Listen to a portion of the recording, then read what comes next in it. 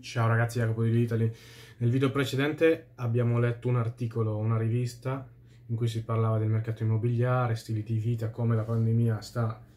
eh, influenzandolo, come lo sta influenzando e ora vi dico, questa era l'opinione di questa rivista, ora vi dico la mia opinione eh, combinata con la situazione, i fatti, i dati di quello che sta succedendo per chi, questo in particolare per chi magari sta pensando di comprare casa, per chi sta guardando il mercato e vorrebbe capire un po' cosa fare o se aspettare o meno e cosa aspettarsi anche dal futuro. Quindi andiamo a vedere intanto cosa sta succedendo. Beh, è molto semplice cosa sta succedendo. Siamo in una crisi economica, eh, oltre che sanitaria. Eh, c'è molta incertezza, le persone, molte persone hanno perso il lavoro, altre lo stanno per perdere, eccetera. Però c'è anche un esercito di persone che ha soldi da parte, che ha lavorato da casa per mesi, che quindi ehm, già voleva comprare casa e adesso magari ha ancora più voglia, ancora più incentivo a cambiare, a spostarsi perché magari vive in un centro città, magari vive a Londra, perché adesso con lavorare da casa ehm, ha senso, ha ancora più senso comprare una casa fuori Londra, avere una casa col giardino, una casa spaziosa piuttosto che un appartamento centrale vicino all'ufficio. Quindi ehm, quello che sta succedendo è che abbiamo uh, un mini boom, un mini boom per quanto riguarda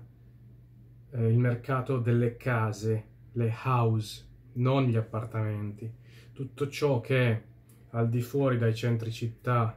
quelli grossi, è tutto ciò che è una casa intesa come un freehold, un qualcosa con un giardino, con eh, tre o quattro camere da letto con spazi eh, dove vivere e dove passare un lockdown o dove avere un ufficio in casa, spazi utili, decenti, ecco tutto questo mercato si è rivalutato, è esploso. Ed è esploso non solo perché, cioè, come vi ho detto, c'è un esercito di persone che è pronta a comprare queste case perché lavora da casa, perché è stufa di stare in centro, ma anche perché il governo ha ha messo il trappolone togliendo la stamp duty fino a marzo. La stamp duty è la tassa di acquisto immobili che in Inghilterra vuol dire di solito oscilla tra il 2 e il 5%, poi si sale, si va anche oltre se si parla di seconda casa, se si parla di case che costano più di tot. Um, quindi la stamp duty, se capite che su una casa pagare, non pagare tra il 2 e il 5% di questa casa significa risparmiare tanto. E per farvi capire una casa da mezzo milione di sterline è qualcosa che ti costa in tasse tra le 20 e le 30 mila sterline di, solo di stamp duty. Quindi quando tu annulli la stamp duty magicamente crei eh, dei soldi regali dei soldi al compratore perché lui aveva da parte una caparra che avrebbe utilizzato per mettere appunto il deposito sulla casa più la stamp duty, ora la stamp duty non c'è più, quindi il deposito sulla casa aumenta e, e, e quindi anche il potere d'acquisto aumenta e si può cercare di comprare una casa più grossa, più importante perché non si pagano più le tasse. Questo fino a marzo. Quindi questa cosa è stata fatta, se non ricordo male, ad agosto. Questo ha scatenato un mini boom un mini boom e andate a cercare su Google e vedrete che tutte le zone esterne a Londra, le zone verdi, le zone dei, dei classici villaggi, cittadine, mm, non dico neanche dimenticate, ma quelle che eh, magari prima sì, andavi a comprare la casa lì, in quel paesino, in quella città, però dopo anni di, di valutazioni, quando eri sicuro, quando avevi certe... Adesso ti danno lo sconto della stamp duty, ti dicono il tuo datore di lavoro ti dice che lavorerai da casa per sempre, che poi non è neanche detto che lavorerai da casa per sempre, questa è anche è un'ipotesi che molti stanno dando per scontata ma non l'ha. E anche lì un, eh, ci sarebbe da discutere eh, se questa cosa durerà per sempre. Quindi questa cosa combinata ha portato un esercito di acquirenti, sia first time buyer, quindi chi compra la prima casa, che una volta magari avrebbe comprato un appartamentino da una o due camere in centro Londra o nei dintorni di, del centro per essere vicino agli uffici adesso invece lo cerca fuori, lo cerca nei paesini eh, che possono essere, diciamo, nell'arco di 150-200 km dal centro di Londra. E, eh, e, non solo, poi c'è anche chi lo cerca nel nord dell'Inghilterra, chi lo cerca in Cornovaglia, però capite che eh, c'è ora un esercito di persone che sta ehm, guardando case e sta offrendo prezzi, sta pagando anche più di quello che magari sono, che, di quanto valgono, quindi si sta creando una mini bolla, un mini boom. E come ho detto, se andate a cercare le statistiche scoprirete, ma l'ho detto anche in un altro video, che le case vengono vendute adesso alla velocità della luce, al contrario degli appartamenti. Quindi questa è la situazione. Però questa situazione è solo temporanea, perché ehm, a marzo la stamp duty tornerà in vigore e ehm, quindi ci troveremo a marzo 2021 con diversi punti di domanda eh, sui quali che, che, ora, che, ora, vi porto, a, a, che vi, vi, vi, vi cito, vi menziono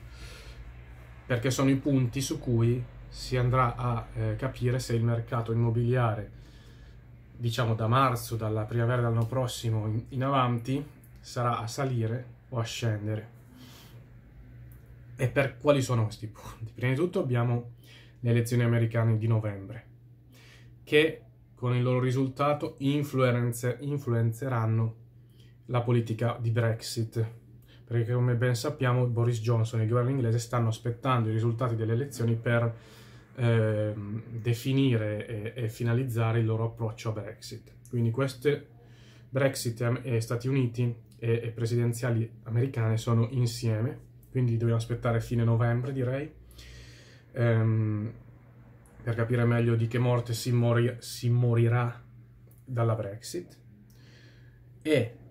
più importante di tutto il discorso pandemia, il discorso vaccini.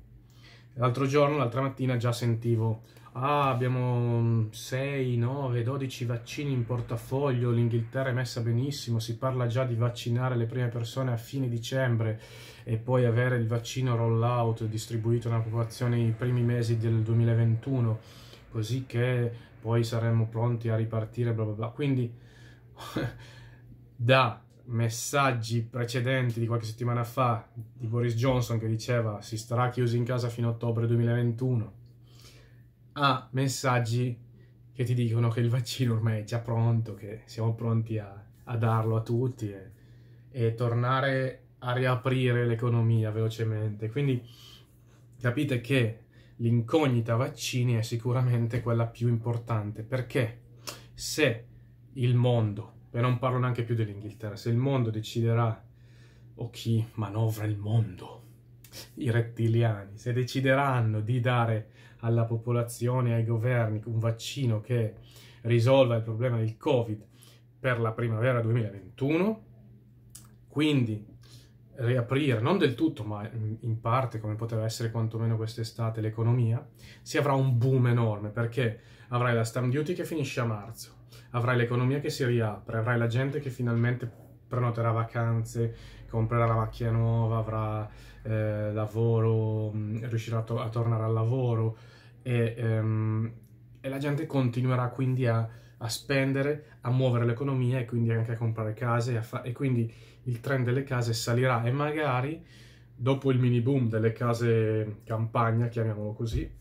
si tornerà a guardare anche i centri città. E se si tornerà a guardare i centri città, Londra e altri centri città sono stati eh, piatti come prezzi dal 2016, diciamo. Da quando c'è stato il voto di Brexit, il mercato degli appartamenti a Londra, zona 2, zona 3 ehm, e oltre anche, non parlo di Prime London, quella dei milionari, ma parlo di quella delle persone normali, da appartamenti da 280, 350, 400 mila pound, quei prezzi diventeranno interessanti l'anno prossimo perché non salgono da 4 anni, quindi gli appartamenti che erano, si stavano deprezzando in centro Londra o negli altri centri città potrebbero tornare a essere interessanti se i rettiliani oppure Bill Gates, insomma chi decide le cose, permetterà di tornare in ufficio o permetterà alla gente di tornare a fare attività commerciali decenti e interazioni decenti nei centri città delle grandi metropoli e delle grandi città. Quindi,